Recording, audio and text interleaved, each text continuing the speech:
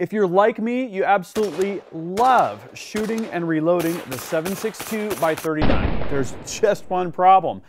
Bullets are difficult to find, and when you can find them, they're very expensive. In this video, we're gonna check out an answer to that conundrum.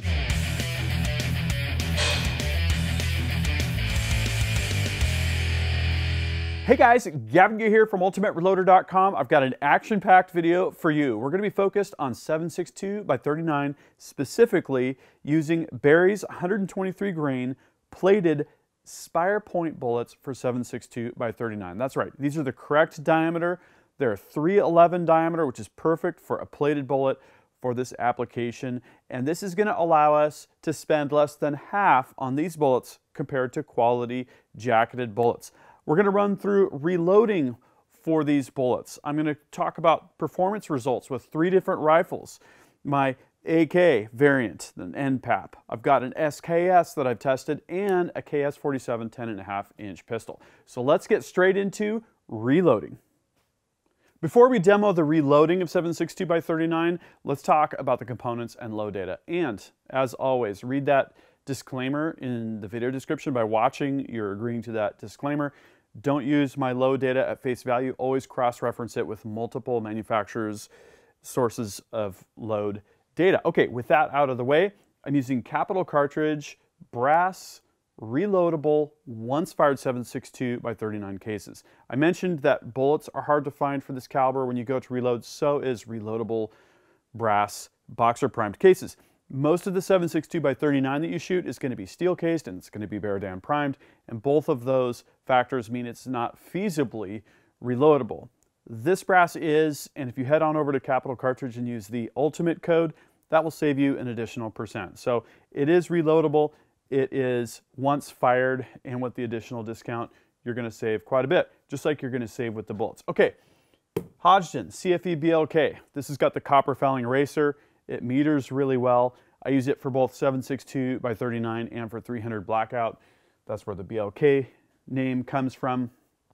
It's my standard powder now for those two calibers. And as we'll see when I compare this to some factory load data, the performance is absolutely awesome. I'm using Wolf large rifle primers. You might say, hey, Gavin, I'm just gonna save you from typing right now. Gavin, where did you find primers? I didn't. I bought those probably 10 years ago. I have continually restocked my supplies. Every time there's some political nonsense or volatility or election, you can count on there being component shortages and maybe even 22 LR shortages, who knows. So the point is get on those inventory alerts and make, you make sure you stock up for next time if you can. Okay, and then of course we've got the Berry's 123 grain plated spire point bullets. These are smack dab in the middle of the sweet spot for weight. 123, I've shot 122s, 123s, 124s. And I've also actually, you'll want to check out this story, shot 220s subsonic. I'll have a link in the video description and in that article, the, the first link in the video description, over to that story because uh, it actually works really well for 762 by 39. Really, really fun too, and also very economical. And for our charge weight, Hodgdon lists 27.5 min and 29.7 for max, and I loaded these at 28. So know that there is a little bit more performance potential there beyond the numbers that I'm going to show you. Okay, so we're using the Hornady Lock and Load AP 5-station progressive reloading press. When you're loading with a progressive reloading press, every time you pull the handle, you're going to get a completed cartridge kicked out into the completed cartridge bin. And that is great for these high volume scenarios like 223 rifle shooting, 762 by 39 rifle shooting, and so on and so forth. And here's how we're utilizing the five stations. Station number one, sizing and depriming. I'm using RCBS dies here, by the way. Station number two at the bottom is priming, and at the top we've got it open. We don't need all five stations for rifle. Station number three, we are using the case activated powder measure to dump our powder charge. Station number four is open. We could put a powder check die there. I'm actually doing a visual powder check. And then in station number five, we've got our bullet seater. So those are, are the stations. I've already got the press run up And every time we pull the handle, we're gonna place a bullet in station number four, guide it in to the bullet seating die. And then we're gonna put, oops, I got bullets falling off the table, overfilled my bin over there a little bit. I'm gonna place a new case in station number one, place the bullet at station number four, and rinse and repeat. I wanna show you something else, check this out. This is my KMS squared UFO press light. This sheds some light on the subject, as they say. Another deal here, UR10 discount code at kmssquared.com will get you 10% off the UFO press light. So we're just gonna keep cruising here. Another thing I like to do is withdraw the case manually from station number five. Some cartridges, 762 by 39 being one of them, are a little bit stubborn on ejecting. And that just helps you get things smoothed out just a little bit more. Doesn't actually cost any extra time per se. Okay. Everything's overloaded. I got components. Oh, we're out of primers there. Okay. Got components falling from various places. So uh, that's the reloading process. It's straightforward and you're gonna hit some pretty high volumes. Before I continue reloading, I'm gonna add some more primers, make sure my powder level is correct. Then it's time to go out shooting. So let's talk about the results I got with these three rifles, starting with the most popular and going on to the least popular. This would have to be the most popular. The AK is a mainstay in the collection of rifles chambered in 7.62 by 39. To give you an idea, I did a performance comparison between this rifle and an AR-15 a while back looking at accuracy. With the AR non-free floated, I was getting about an inch and a half, a little bit less actually, groups at 100 yards. And this baby was printing groups minute of pie plate, approximately like seven inches around that value. And that's still within the acceptance criteria that this rifle was designed for. And that's fine with me as well. I don't use an AK for long range shooting or long range accuracy. It's really about close quarter stuff, hits on steel, defense, those types of scenarios. I've got this rifle equipped with a Silencer Co. Uh, hybrid can, and this is the same can, same configuration that I used back when I tested the KS47. So that data should be apples to apples in terms of comparisons. So for each of the rifles, I did a couple things. Actually, I didn't do a couple things for the SKS because I forgot to test accuracy. I forgot I had it on hand, which is kind of funny. So at least for the AK-47 uh, style rifle and for the KS-47, I did limited accuracy testing just to see approximately off of a bag kind of what I would get. Uh, but for each of the rifles, I shot them over a chronograph to see what my average velocity and the standard deviation or the consistency of the velocity was going to be. So for the testing I did here, uh, I'll show you the shooting of the shots across the chronograph.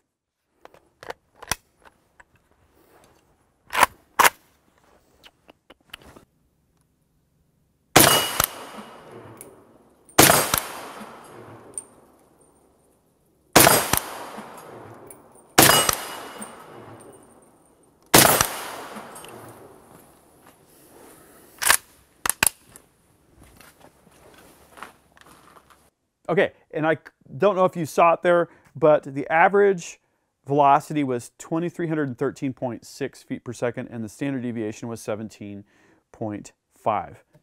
That's actually a really, really good number. I've seen SDs up into the 40s, and again, it doesn't really matter as long as you're get, getting consistent functioning because that kind of a standard deviation won't really affect your performance at close quarter ranges for fast action shooting and that kind of thing.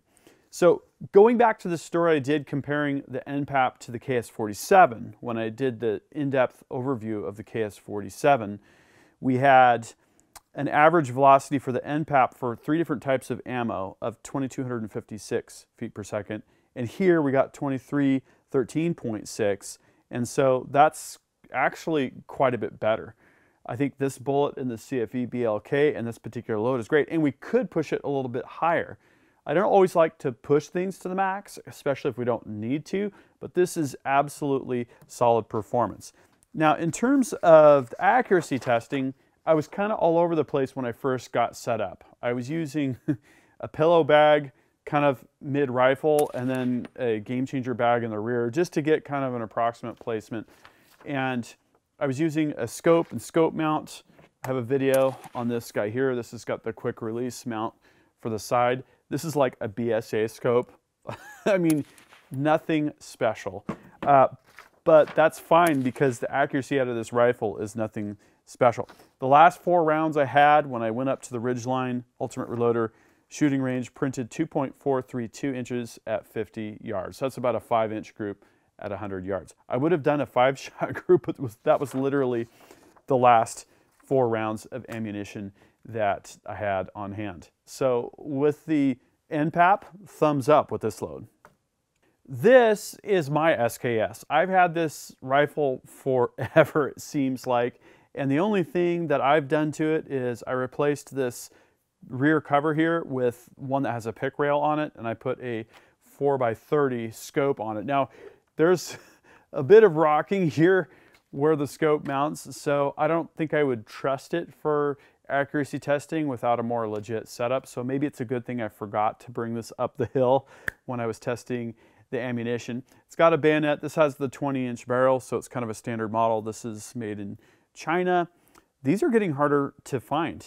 Uh, and in terms of velocity performance, let me show you the shots that I shot across the chronograph with this SKS.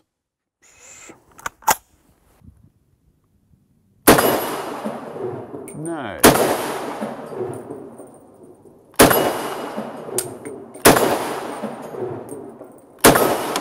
Hey, I like that.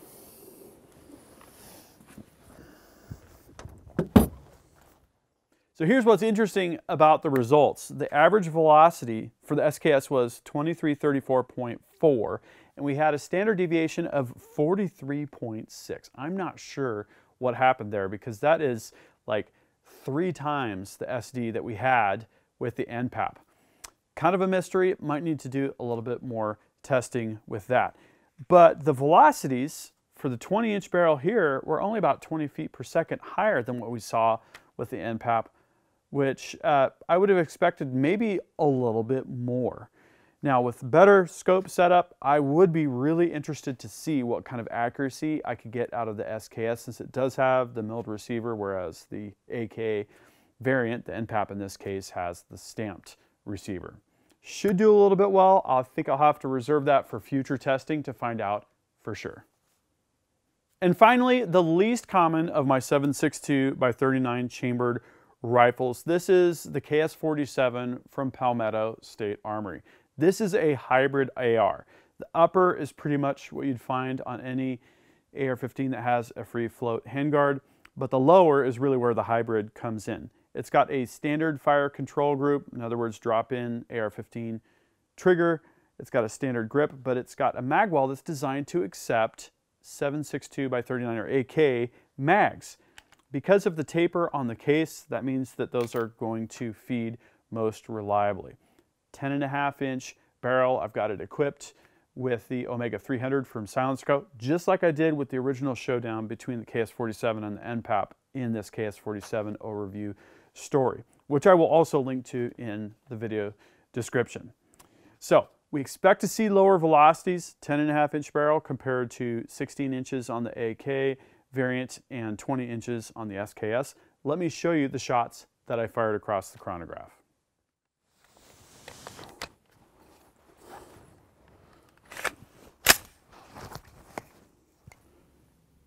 I know I have some POI shift.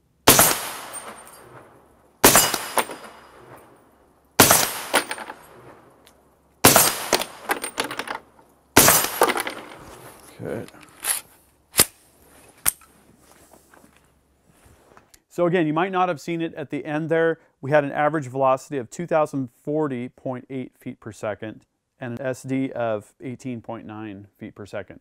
That's very close to the 17.5 SD that we saw with the NPAP and well below the 43.6 feet per second SD that we saw with the SKS, which is still a little bit of a mystery to me. Now, compared to the original showdown, I tested three different types of ammunition in the KS-47 and we had an average of 2,089.73 feet per second. This time we were a little more than 40 feet per second below that. So what's interesting is the KS-47 was below with the same load. The other three types of ammo were consistent between the two tests. And the NPAP was well above what we saw with the other three types of ammo. Using the same load in both rifles this time. Again, a little bit of a mystery. But very respectable performance across the board, very consistent. Very happy with this load. So there you go, loading and shooting 7.62 by 39 with Berry's 123 grain plated Spire Point bullets. Don't forget, UR10 gets you 10% off the KMS squared light and the ultimate code gets you 10% off any brass order at Capital Cartridge. I hope this video was helpful for you. If it was, please give it a thumbs up. Also, I'd love to know, what are you doing with 7.62 by 39? Are you reloading for it? What cases, what powder, what bullets are you using? What are you shooting it in? Please drop a comment and we will discuss. Also, links down there in the video description. I'm on Patreon and I've got Ultimate Reloader shirts at the Ultimate Reloader store. Any support that you guys can provide is most appreciated. Also, make sure you subscribe with notifications because I got a lot more 762 by 39 content coming up. As always, Thank you for watching. Until next time, happy shooting and happy reloading.